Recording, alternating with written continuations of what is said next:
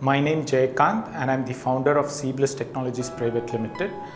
We are into healthcare IT and our product is ZMed which is a SaaS platform for critical care for hospitals which helps uh, doctors and other clinicians for making better uh, clinical uh, decision support which also leads to better economic outcome and I've been part of this Emerge program at Derbi and uh, Derbi through this particular Emerge program has helped us for better market access and also uh, business related support in terms of strategy and marketing plans.